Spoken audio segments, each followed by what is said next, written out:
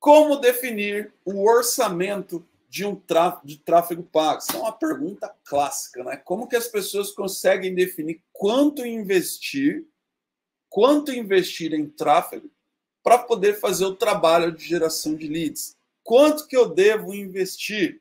Pergunta clássica. Então aqui, ó, primeiro, de, para definir o seu orçamento, você precisa entender, você precisa definir os seus objetivos. Qual é o seu objetivo? Então, por exemplo, se você já sabe quantos leads você quer gerar por mês, ou por semana, ou por dia, você já tem uma informação extremamente importante para definir quanto que você vai gastar. Então, se você já traçou as suas, os seus objetivos, as suas metas, principalmente utilizando a metodologia SMART, você já vai conseguir definir ali, né? Você vai, você vai ter insumo suficiente para poder definir bem quanto que você vai investir. Então é importante para você definir quanto você vai investir, definir os seus objetivos. Qual que é seu objetivo? Ah, meu objetivo é aumentar o tráfego no site. O meu objetivo é aumentar a quantidade de leads. O meu objetivo é aumentar a venda. O meu objetivo é aumentar alcance. Enfim, o objetivo é você que vai definir, você que vai ver o que é mais interessante para o seu negócio. Então, a primeira situação para você definir quanto que você vai investir no seu trabalho de geração de leads e vendas é definir o que você quer, definir o seu objetivo. Então, o cara foi lá e falou: Eu quero aumentar a quantidade de seguidores. A gente acabou de falar que quando você faz um trabalho de aumentar a quantidade de seguidores na sua rede social, muitas vezes você está focando em topo de funil. Topo de funil é um lead que muitas vezes não vai comprar, não no curto prazo. Se você tem urgência para vender, talvez essa não seja a estratégia mais interessante. Ah, eu preciso vender em dois meses, senão eu quebro. Talvez fazer uma, uma campanha desse, desse, com esse tipo de estratégia não seja a forma mais interessante de atuar.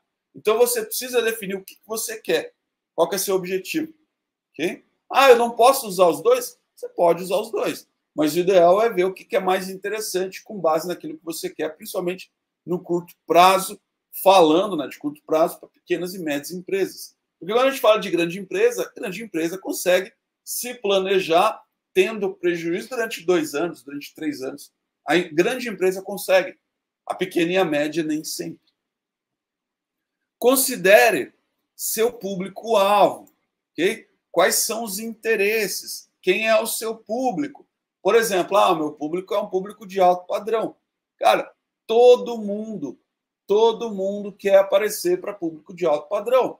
E quando a gente fala principalmente de tráfego pago, você entra no leilão para todo mundo que quer aparecer para público de alto padrão. Então, dependendo do público que você quer alcançar, o investimento também pode ser mais alto. Então, isso precisa ser colocado na balança. Ah, eu quero aparecer só para pessoas com alta renda. Provavelmente vai ficar mais caro também para você gerar esses leads, para você gerar essas vendas. Analise a sua concorrência, né? o que, que eles estão fazendo. Existem várias ferramentas para você analisar. Facebook, por exemplo, tem um planejador de palavras-chave.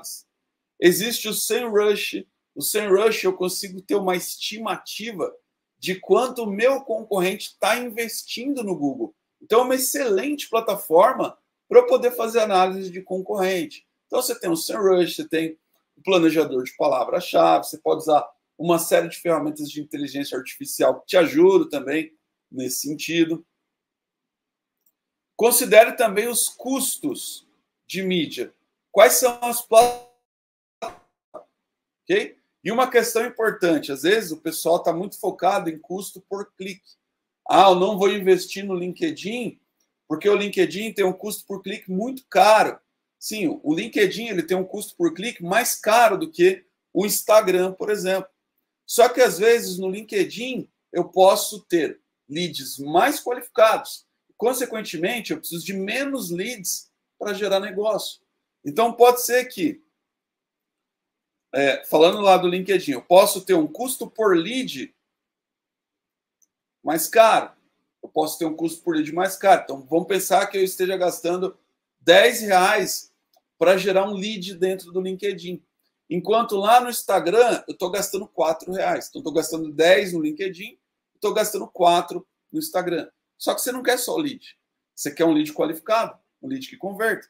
Porque no final, para você, o que interessa é quanto que você gastou para adquirir esse lead. Quanto que você gastou para adquirir essa venda. É o famoso CPA ou CAC. Então, por exemplo, o lead no LinkedIn custa 10 reais. O lead no Facebook, no Instagram, custa 4 reais. Mas vamos pensar que no LinkedIn você precisa de 10 e no Facebook você precisa de 50. Ok? No LinkedIn você precisa de 10 e no Facebook você precisa de 50. Então, no LinkedIn, se você precisa de 10, deixa eu anotar isso aqui para ficar mais visível isso. Então, o, CP, o CPL no LinkedIn, que é o custo por lead, está 10 reais. Enquanto o CPL no Instagram está 4 reais. Só que no LinkedIn, eu preciso de 10 leads para uma venda. Enquanto no Instagram, eu preciso de 50 leads para uma venda. Logo, se eu preciso de 10 leads para uma venda, eu basicamente multiplico o CPL vezes a quantidade de lead.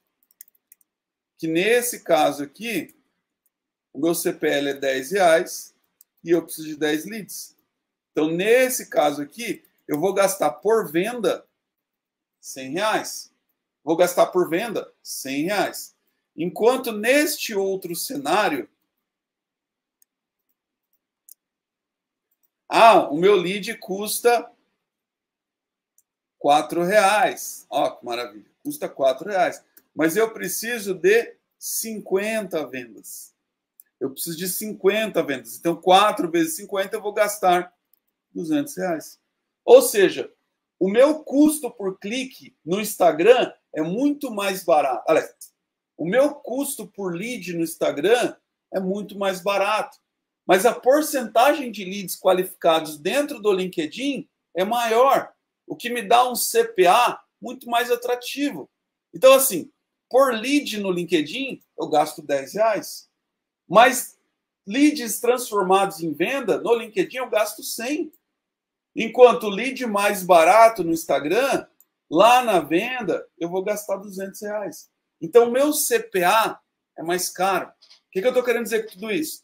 Que não adianta você ficar focando no custo por clique.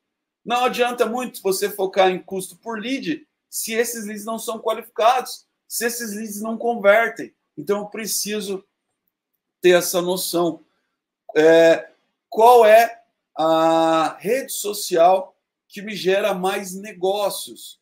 Comece a focar mais em CPA. Comece a focar mais em CPA, que é o custo por ação. Esse tem que ser o seu foco, ok? Ah, porque assim, ah, não, eu quero com um custo por clique mais barato. Cara, vai para o Pinterest. Hoje o Pinterest é um dos custos por clique mais barato que tem.